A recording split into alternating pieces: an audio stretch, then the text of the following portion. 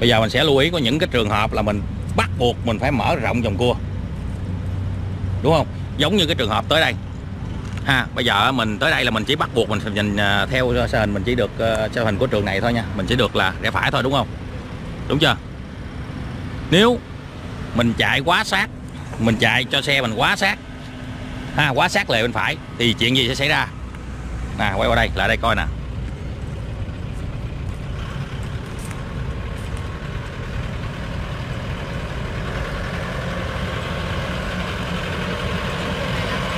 Thấy vừa vừa rồi thấy chiếc xe tải mới chạy qua không?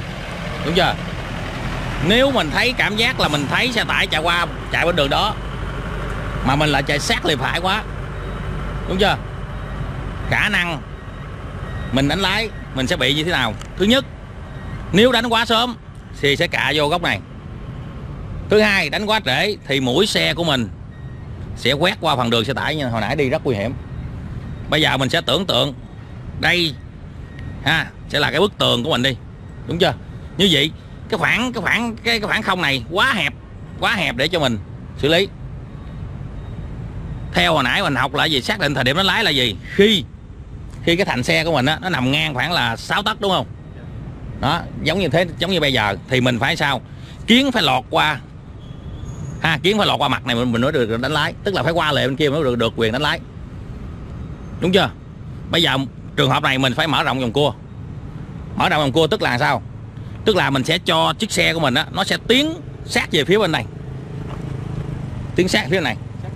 À tiến sát tương đối thôi chứ không có sát như vậy thì cái khoảng cái khoảng cái khoảng uh, cách giữa cái thùng xe thùng xe bên phải và cái lề phải đã rộng ra rồi.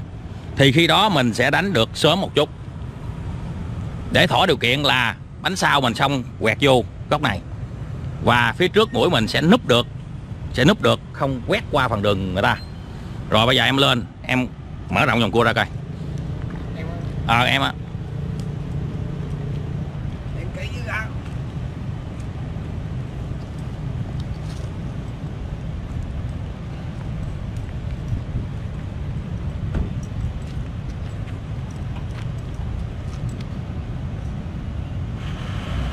Rồi em lấy qua. Lấy qua trái chút. Qua xíu nữa. Rồi thôi, thắng lại thắng lại. Thì bây giờ mình đã đang có khoảng cách rộng ra rồi, đúng không? Rồi, như vậy thì mình sẽ được đánh lái sớm hơn góc này một chút xíu, Đúng chưa? Rồi bò tới đi. Chưa chưa về đánh lái rồi. Cái kiến em có ngang có ngang góc đâu. Em chỉ được sớm hơn chút xíu thôi, đúng chưa? Rồi, móc nhanh lái lên. Thì khi đó thắng lại nè, thắng thỏa điều kiện là bánh sau mình không quét qua phần đường. À, không không không kẹ lên mỏ nè. Đúng chưa? Rồi phía trước mình không quét qua phần đường này nè. Rồi cho xe tiến tới đi.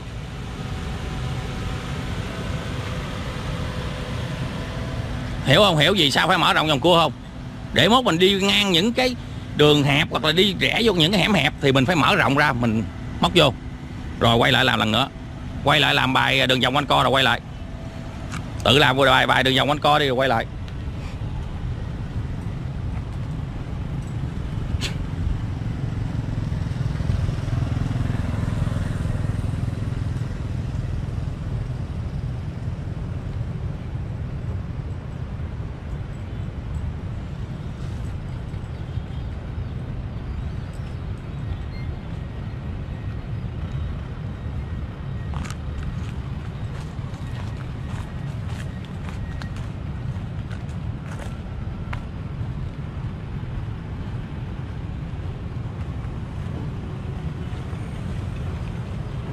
Rồi tiến bám lưng.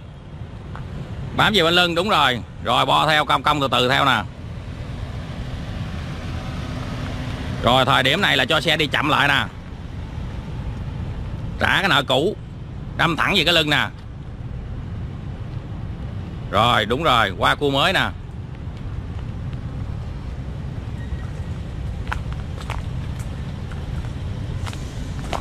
Rồi, lấy về bên trái, Áp sát về bên trái, Mở rộng vòng cua ra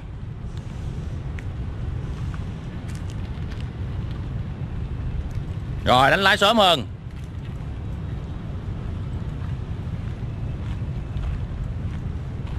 Hiểu không? Hiểu hiểu không? Hiểu mà, cái thao tác của em vùng về quá